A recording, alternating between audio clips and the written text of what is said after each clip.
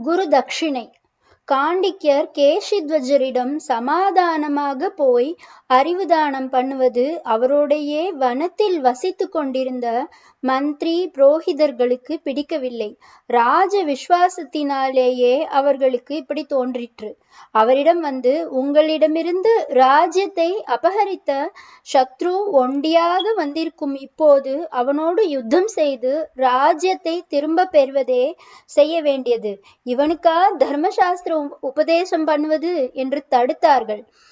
காண்டிக்கிறோ நீங்கள் சொல்கிறபடி இவனை நான் கொன்றால் எனக்கு பூலோகம் சுவாதீனமாகும் என்பது வாஸ்தவம்தான்.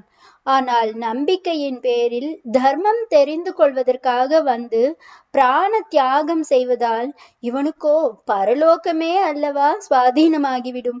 நம்பி வந்தவனுக்கு அறிவை தராமல் அடைத்து வைத்து கொண்ட எனக்கு அந்த பரலோகத்தின் வழி அடைத்துத்தானே போய்விடும். தற்காலிகமான இகலோகத்துக்காக சாஸ்வதமான பரலோகத்தை இழக்க மாட்டேன் என்று சொல்லிவிட்டார். கேசித்வஜரை பார்த்து உன் தர்மசாஸ்திர சந்தேகத்தை கேள் என்றார். கேசித்வஜர் விஷயத்தை சொன்னார். பாதி யஜ்யத்தில் பசு வதையானால் என்ன பிராயஷ்சித்தம் பண்ண வேண்டுமோ அது காண்டிக்கருக்கு தெரிந்திருந்தது. தெரிந்ததை கொஞ்சம் கூட ஒழிக்காமல் சொன்னார். எதிரி அல்லவா அந்த பிராயஷ்சித்தத்தால் பயனடைய போகிறவன் என்று பார்க்காமல் யதோக்தமாய் எல்லாம் உபதேசம் பண்ணினார்.